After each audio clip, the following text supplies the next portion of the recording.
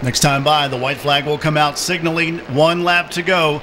Macy Causey has to drive smart for this lap and a half as she tries to keep Daryl Atkins, Evan Horn, and Cameron Bowen in her rear view mirror. A slip by the three. He got sideways. Daryl Atkins, Clifton Savage 63, John Savage 64. It's Aaron Leach in the 87, Sparky West in the 60. 52 is Bill Kerwin, the 88 Matthew Leach, 71 Sean Jarvis, 51 Brandon Laura,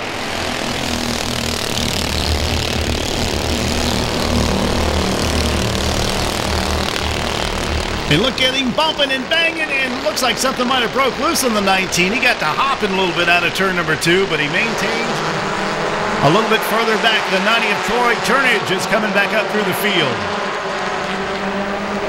Great race for the lead between the 62 and 17. Chase McAdams can't quite complete the pass on Robbie Davis.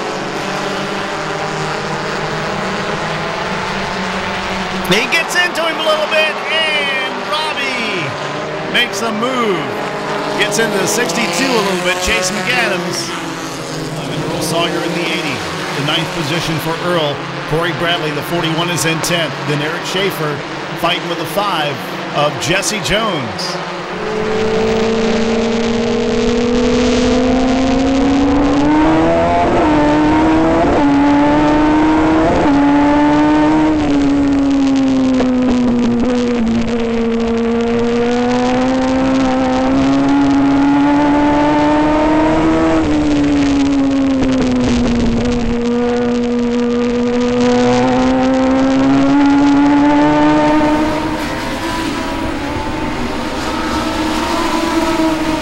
Cameron Patrick and Steve Ward with a good battle here. A little crash. The 20 spins around.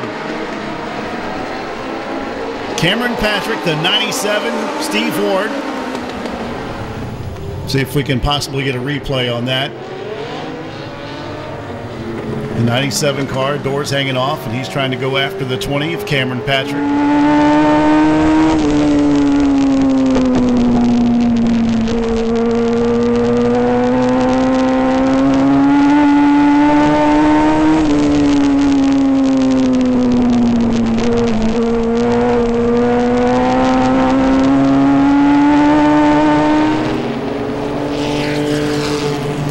Look at this. Anthony Perez gets spun by the 7. He gets hit by the 23 of Casey Sipe.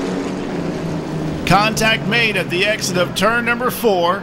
The two guys battling for the Rookie of the Year, Anthony Perez and Steve Williams get into it, battling for the second spot at the exit of 4.